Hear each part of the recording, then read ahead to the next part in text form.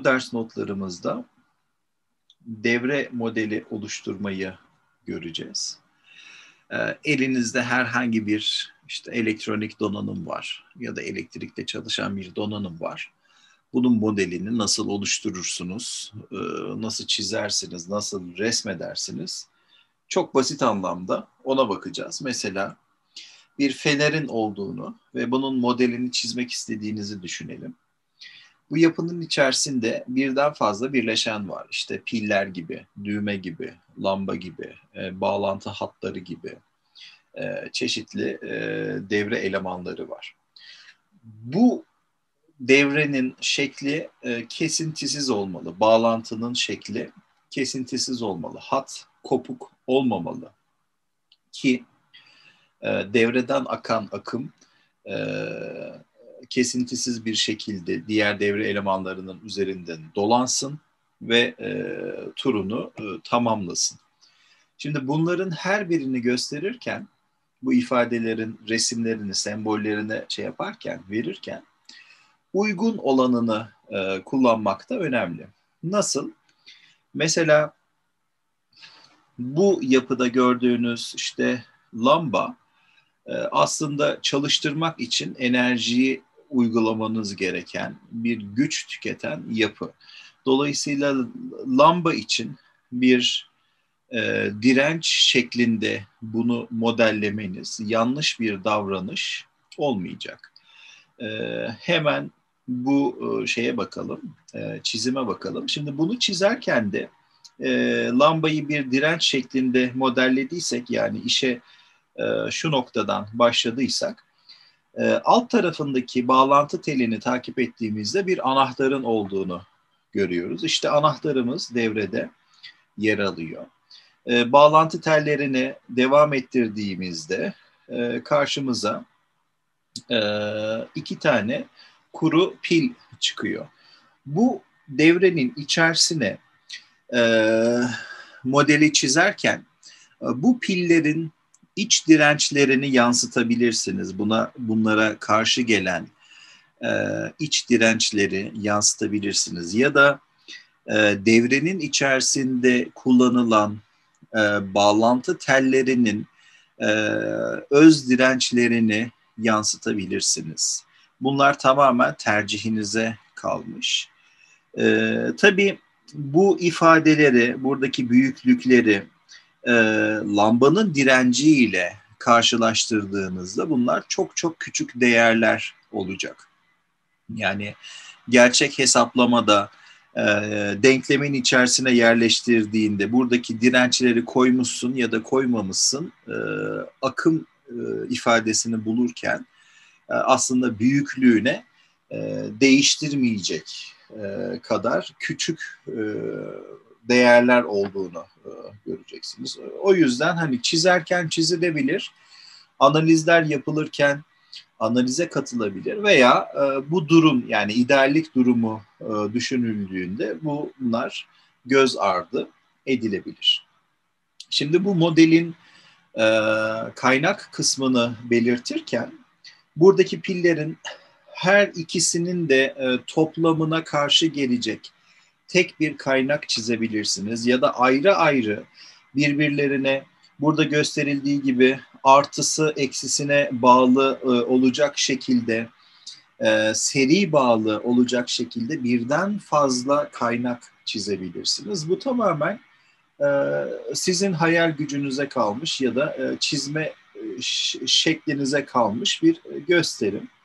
Burada mesela ikisini ortak bir şekilde birleştirip tek bir kaynak olarak, source olarak göstermiş. Yalnız önemli olan kısım şu, pillerin e, artısının ve eksisinin nereye nasıl bağlı olduğu. Bakın pilin artısını lambanın bacağını ya da lambanı lambayı bir direnç olarak gösterdiğimizde e, bu bacaklardan bir tanesine pilin artısının bağlı olmuş olması, e, güç kaynağının yani e, e, pilin eksisinin de e, lambanın diğer bacağına bağlı olmuş olması ve arada da e, bir açma kapama işini gerçekleştirecek e, anahtarın e, buradaki verilen e, lambaya göre çizilmesi. Bu e, yapı, işte bu çizimi oluşturmak, bunu e, yaratmak, model oluşturmak anlamına geliyor. Şimdi şöyle bir örnek var. Bu örnekte e, size bir e, kapalı kutu verilmiş.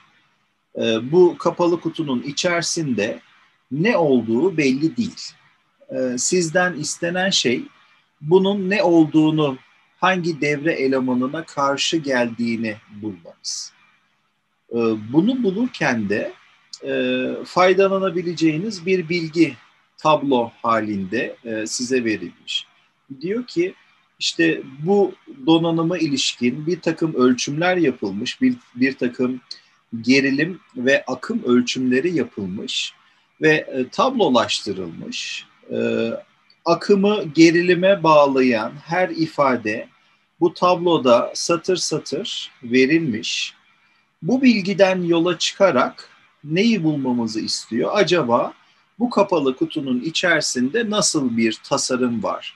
Ya da nasıl bir e, devre elemanı var? Bunu bulmamızı istiyor. Benim bildiğim tek şey ne?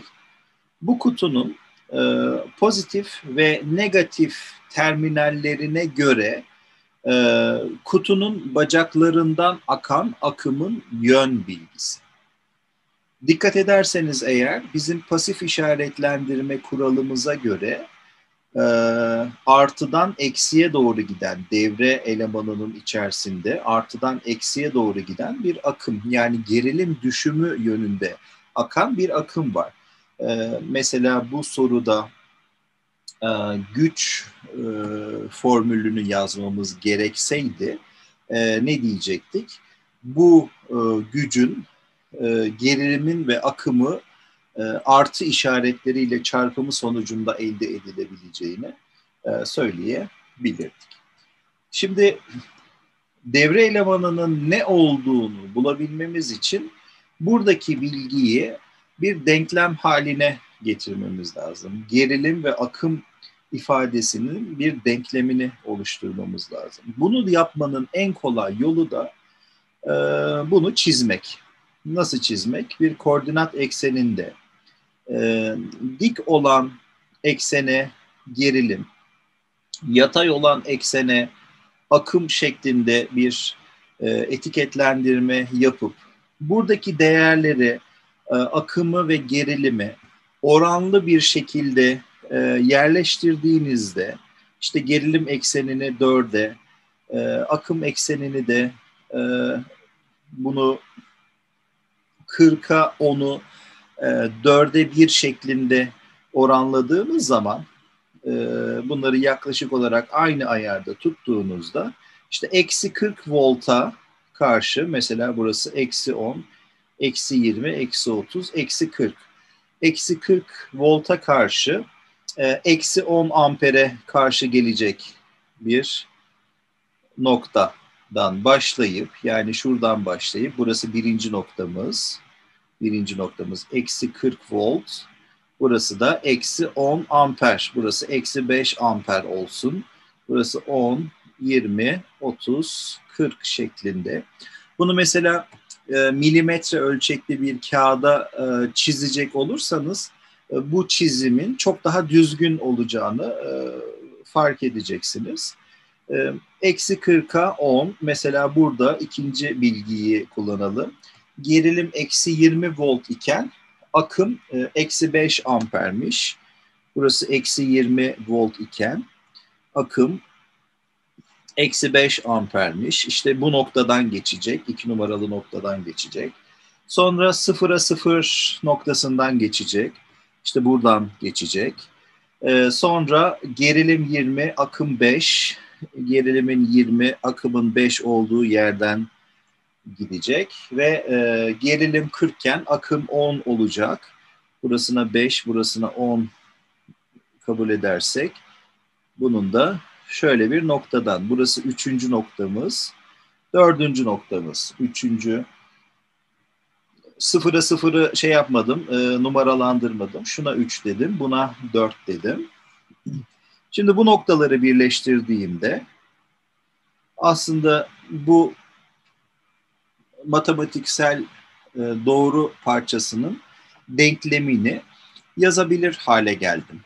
Buradaki alfa açısına bakıp, eğime bakıp, işte e, tanjant alfayı hesapladığınızda karşı bölü e, komşu e, değerlerinden e, 40 bölü 10'dan alfayı e, 4 olarak yani eğimi e, 4 olarak e, şey yapabilirsiniz, bulabilirsiniz. Yani bu ne anlama geliyor?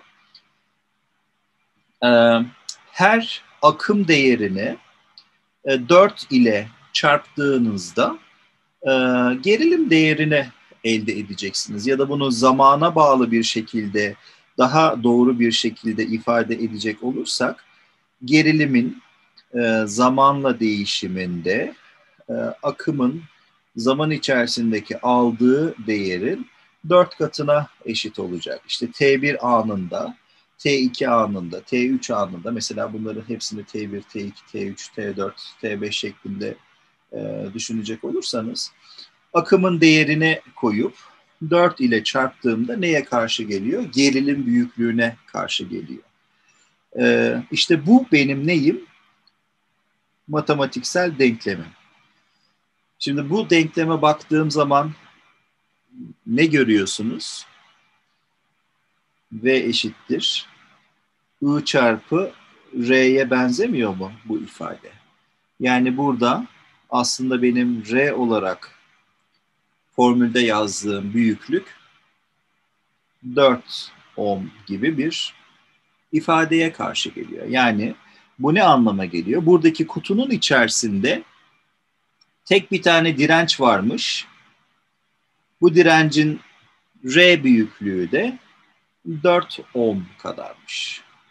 Sağ üst köşeye bunu düzgünce çizecek olursam eğer, üst taraftaki terminalden gelen I akımı, I, T akımı alt taraftaki terminallerden çıkış yapacakmış. Burası artı, burası eksi, burası V, T. Bu şeyin içerisinde de, kutunun içerisinde de ne yer alıyormuş? Buradaki matematiksel denklemden dolayı bir tane direnç yer alıyormuş. Bu direncin büyüklüğü de 4 ohm kadarmış. Kutunun içerisinde tek bir tane direnç varmış diyebiliyoruz. Donu, inside the box, e, device inside the box dediğimiz e, cevap e, direnç. Şimdi devre analizlerini yaparken eğer elinizde anahtarlı bir devre varsa bu anahtarlı devrenin e, iletim durumunda olduğu halini düşünerek e, sürece devam etmeniz gerekir. Mesela buradaki gösterildiği gibi anahtar açık olursa eğer zaten devre tamamlanmayacağı için e, bu kollardan akan herhangi bir akım e, söz konusu olmayacaktır. Bir I akımı akmayacaktır. Bu dirençlerin üzerinden akım geçmediği zaman ne olacak? Bu dirençlerin gerilimleri de olmayacaktır. Dolayısıyla e, bu anahtarın kapalı olduğu durumu düşünerek analizleri yapmamız lazım. E, bu ifadeyi bulurken de yani o el fenerinin e, içerisindeki dirençlerin e, gerilimlerinin büyüklüklerini e, bulurken de e, Kirchhoff yasaları dediğimiz yasalara başvuracağız. Bunların e, ifadelerine e, kullanacağız. Kirchhoff gerilim yasaları, Kirchhoff akım yasaları dediğimiz e, yasalara başvuracağız. Bunları yaparken eğer bize buradaki gibi e, gerilimlerin yönü, e, devre elemanlarının üzerinden akan akımların yönü verilmemişse bu gerilim yönlerini ve bu akım yönlerini biz kendimiz e, çizeceğiz, resmedeceğiz. Yani bu buradaki örnekte mesela bu mavi çizimler e, bana verilmiş, gösterilmiş. E, ama e, soruların büyük bir çoğunluğunda bu mavi ile gösterilen kısımların olmadığını göreceksiniz. Bunları kendinizin bulması gerekecek. İşte bu durumda ne yapmamız gerekecek? Devrede bulunan güç kaynağının artısının ve eksisinin bağlı olduğu e, yerlere bakarak e, artı bacağına yakın olan dirençlerin bacaklarını artı, e, eksi bacağına yakın olan dirençlerin bacaklarını eksi şekilde e, polaritesini yazarak gerilimlerini ifade edeceğiz. Ama buradaki örnekte e, bu çizilerek bize verilmiş. Burada e, V1 üst üst tarafı artı, alt tarafı eksiymiş. İşte e, RL direncinin üzerinden yukarıdan aşağı akan bir IL akımı varmış. Mesela buradaki RC'de e, sol taraf artı, sağ taraf eksi çizilmiş e, ve gerilimi verilmiş. İşte buradaki akım soldan sağa doğru akıyor şeklinde gösterilmiş. Mesela buradaki R1 direnci için e, buradaki gibi verilmiş vesaire. E, şimdi bunlara bakarak, bu yönleri baz alarak benim e, bilinmeyenleri bulmam lazım. Şimdi bilinmeyenler ne? E, IS akımını bilmiyorum. Ana koldan akan akımı bilmiyorum. İşte R1 direnci üzerinden akan akımı bilmiyorum. IC'yi bilmiyorum. IL'yi bilmiyorum. İşte V1'i, VC'yi, VL'yi bilmiyorum. Yani toplamda e, 7 tane bilinmeyenim var. Şimdi ben VS'yi pil olarak e, şey yaptığımız için işte iki tane pil bir buçuk volttan e, 3 volta denk geliyor e, olduğunu kabul ettiğim için VS'yi bildiğimi varsayıyorum buradaki şeyde modelde. E, benim neyim var? Toplam 7 tane e, bilinmeyenim var. Bu bilinmeyenleri ifade ederken e, işte dirençlerin, akımlarını ve e, gerilimlerini ifade ederken e, direncin alt indisinde verilen sembol ya da rakam neyse e, o direnç için kullandığınız akım ve gerilim ifadelerinde de aynı sembolü kullanmanız, aynı rakamı kullanmanız süreç içerisinde karışıklığın önüne geçecektir değerlerin birbirleriyle karışmasını önleyecektir. E, bu yüzden alt indislere e, dikkat edin. Mesela RC olarak gösterilen direncin e, gerilimi VC ile, akımı IC ile e, temsil edilmiş. İşte RL olarak gösterilen direncin gerilimi VL, akımı IL şeklinde e, ifade edilmiş. Bu alt indislerin e, gösterimine şey yapın, dikkat edin. Şimdi e, önemli olan e, yerlerden, noktalardan bir tanesi de bu modellerin içerisindeki düğüm dediğimiz yerler. Düğümün önce bir tanımına bakalım, ondan sonra model üstünde görelim. Bakın düğüm denen şey iki veya daha fazla devre elemanının kesim noktasına, kesişim noktasına verilen isim. Ee, bu devre elemanları direnç olabilir. Bu devre elemanları güç kaynakları olabilir. Ee, bunlar bağımlı kaynak, bağımsız kaynak olabilir. Bunların her biri birer devre elemanı. Bu devre elemanlarının iki tanesinin ya da daha fazlasının kesişim noktası yani bağlantı noktasına düğüm deniyor. Bakın yukarıdaki modelde bizim el feneri modelimizde e, solda bir VS devre elemanımız var. Bunun iki tane terminali var. Bir tane yukarıda bir tane aşağıda. Bakın burada bir düğüm gösterilmiş D diye. Alt tarafta bir tane düğüm gösterilmiş A diye. A'ya baktığım zaman neyi görüyorum? Bunun sağ tarafında R1 direnci, sol tarafında da kaynak var. ya da B düğümüne baktığım zaman bunun sağ tarafında RC direnci, sol tarafında R1 direnci var. Yani iki tane devre elemanının bağlantı noktası B olarak gösterilmiş. Ya da e, benzer şekilde e, RL direnci ile RC direncinin bağlantı noktası işte C düğümü olarak ifade edilmiş.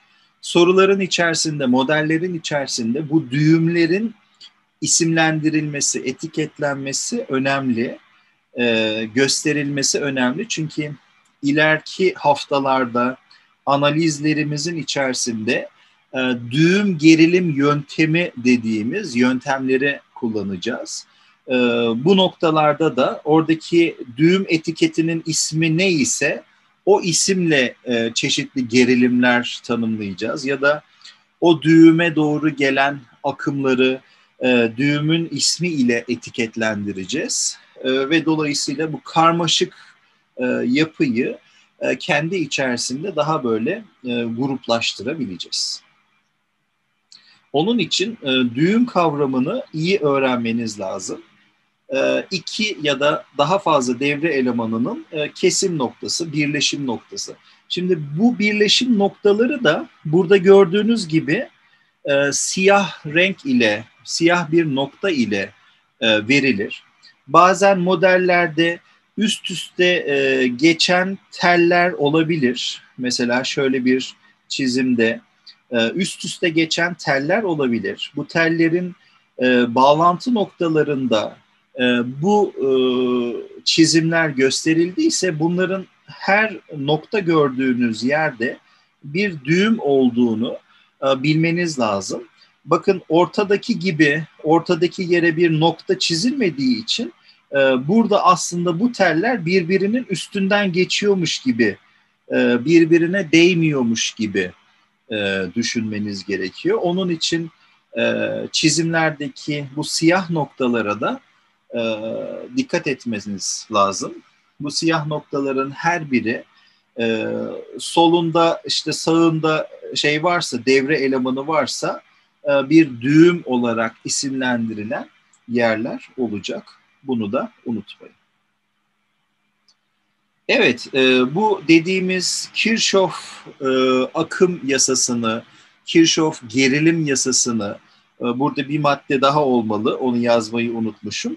Bu maddenin e, gerilim olan e, kelimesiyle değiştirip buraya siz ekleyin. Kirchhoff gerilim yasasını uygulayabilmek için e, devredeki düğüm noktalarını belirlememiz, işte Kirchhoff akım yasasını uygulayabilmemiz için devredeki düğüm noktalarını belirleyebilmemiz gerekir. E, bunu e, unutmayın. Şimdi modelimize geri dönelim. Bize bu modelin içerisinde ABCD şeklinde e, şurada burada ABCD şeklinde e, şey verilmiş. Bu arada burasını bir şöyle temizleyeyim. E, pardon. Evet, daha görünür hale geldi. E, ABCD şeklinde şeylerimiz var. E, düğümlerimiz var. Şimdi buradan devam edeceğiz, takip edeceğiz. E, bu düğümlere ve e, devrede kullanılan e, devre elemanlarının etiketlerine göre e, akım ve gerilim ifadeleri verilmiş. İşte yedi tane bilinmeyenimiz var. Buradaki kaynağın e, 3 voltluk pil olduğunu biliyoruz. Şimdi şey olarak e, cebirsel olarak düşündüğünüzde e, elinizde yedi tane bilinmeyen varsa e, bunu çözebilmeniz için sizin de e, yedi tane denkleme ihtiyacınız var. Matematikte e, bu şart bilinmeyen sayısı kadar denkleme ihtiyacınız var. İşte bu devreyi analiz edebilmemiz için, çözebilmemiz için bizim de bu yedi tane denklemi, bağımsız denklemi oluşturmamız lazım. İşte bu denklemlerin üç tanesini ohm yasasını kullanarak V eşittir I çarpı I çarpı R ohm yasasını kullanarak oluşturabiliriz. Ne diyebilirsiniz? R1 direnci üzerinden akan I1 akımı neyi doğurur? V1 gerilimini doğurur. Benzer şekilde RC direnci üzerinden akan IC akımı e, VC'yi VC geriliminin oluşmasına neden olur.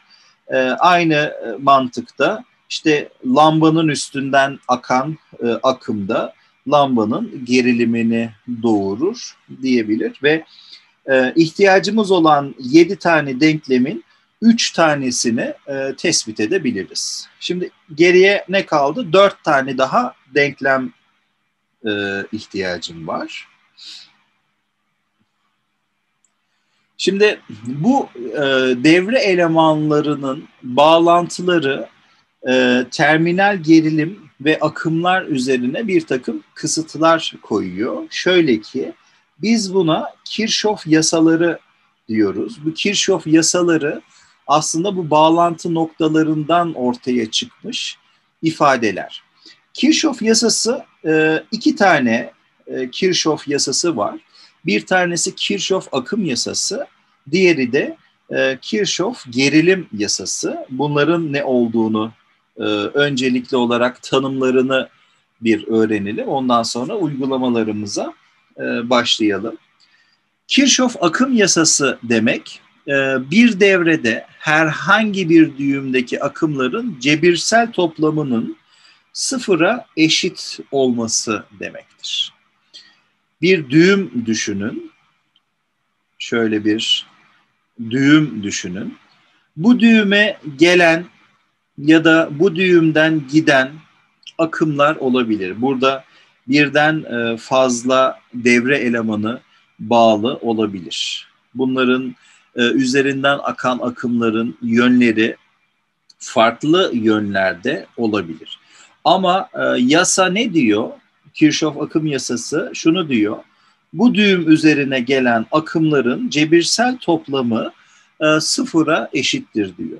Bunun çok basit e, ifadesi toplam gelen akım, gelen akım, toplam giden akıma akıma eşit olmalı.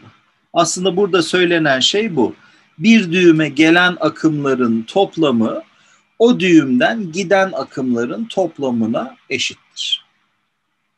Şimdi bunu gösterirken de akımların e, Kirchhoff akım yasasına göre e, denklemlerini oluştururken bu denklemin içerisine o akımı hangi işaret ile e, yazacağımızı gösterirken de iki tane opsiyonumuz var ya pozitif işaret ile göstermek ya negatif işaret ile göstermek. Ama şunu yapmanız lazım. Negatif işaretle göstermeyi seçtiyseniz eğer e, bütün devre modelinde hep negatif mantığı düşünmeniz lazım. Yani pozitif lojik, negatif lojik gibi e, düşünün. E, hangi yolu seçiyorsanız, hangi yöntemi seçiyorsanız bütün devre elemanlarına da aynı e, kuralı uygulamanız lazım. Şimdi bu kural ne diyor? Bu kural şunu söylüyor. Düğümden çıkan akımların hepsi pozitif işaretlidir veya düğüme giren akımların hepsi negatif işaretlidir diyor. Yani bir düğüm düşünün. A diye bir düğümümüz olsun. Bu düğümden e, çıkan I1 diye bir e, akımımız olsun. E, bu düğüme gelen I2 diye bir akımımız olsun. Düğümden çıkan akım yani giden akım, bu düğümden giden akım pozitif işaretli I1, pozitif işaretli. Bu düğüme gelen akım, düğüme doğru gelen akım negatif işaretli olmalı. I2 eksi I2 olmalı. Ve ne diyor? Toplamlarının da sıfıra eşit olması gerekir diyor. Bunun toplamının neye eşit olması? Sıfıra eşit olması gerekir diyor. İşte aslında şuraya yazdığım basit açıklamaya dikkat ederseniz e, sonuç bize neyi getiriyor? I1'in I2'ye eşit olduğu duruma götürüyor. Gelen akımların toplamı giden akımların toplamına eşit. Şimdi ben bu denklemi yazarken, buradaki Kirchhoff akım yasasını yazarken ne yaptım? Ee, çıkan akımları pozitif işaret ile gösterdim. Ee, giren akımları da negatif işaret ile gösterdim. Bunun ben tam tersini de yapabilirdim. Ne yapabilirdim? Ee, çıkan akımları negatif işaret ile, giren akımları da pozitif işaretle gösterebilirdim. Dolayısıyla bu denklemi yazarken nasıl yazmış olurdum? Eksi I1 artı I2 eşittir sıfır şeklinde yazmış olurdum.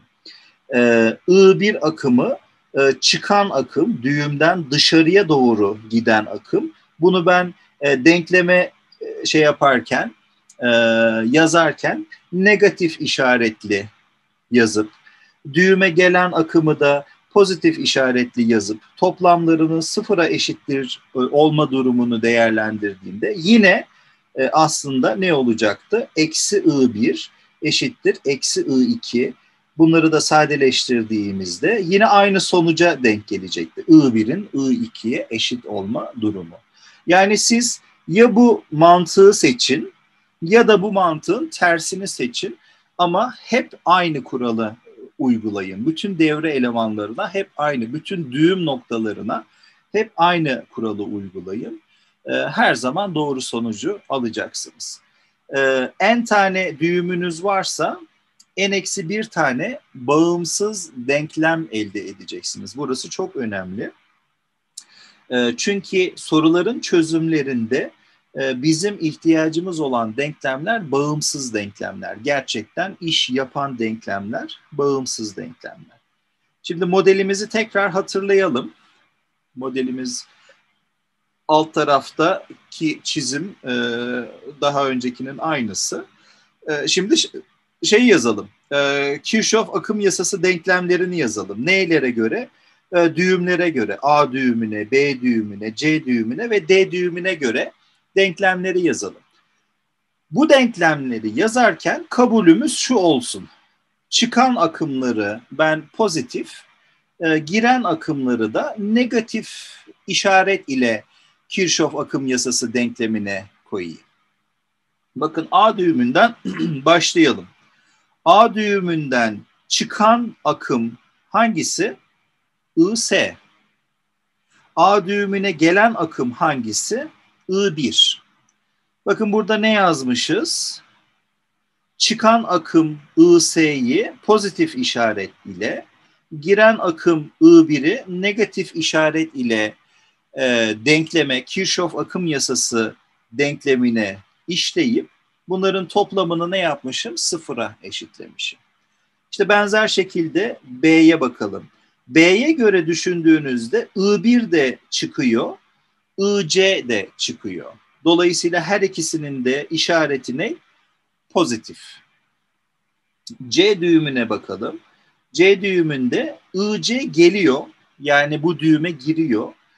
Buradaki IL de bu düğüme geliyor. Yani giriyor.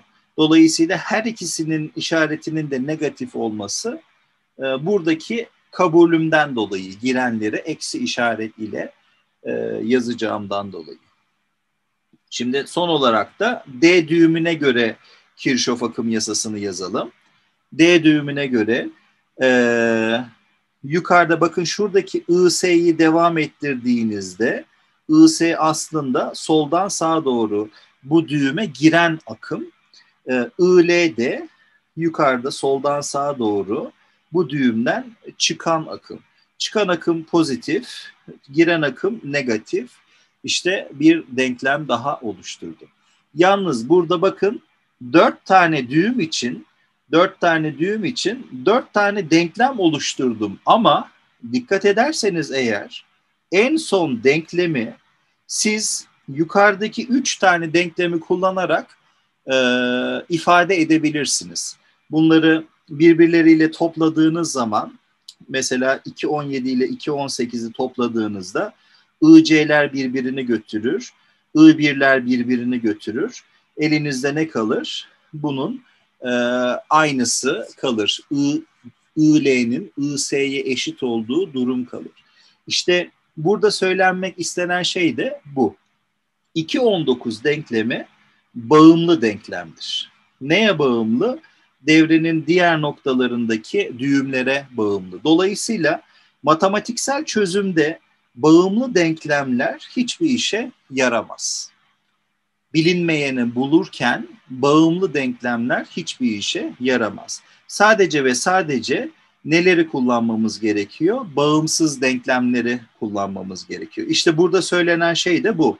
Eğer sizin elinizde en tane düğüm varsa bu en tane düğümden sadece n eksi bir tane bağımsız denklem bulabilirsiniz. E, açıklaması da bu. Dört tane düğümüm var. Bu düğümlerin sadece üç tanesi bağımsız, bir tanesi bağımlı. Dolayısıyla bu işe yaramıyor çözümde. Ben neleri kullanacağım? E, bağımsız olanları kullanacağım.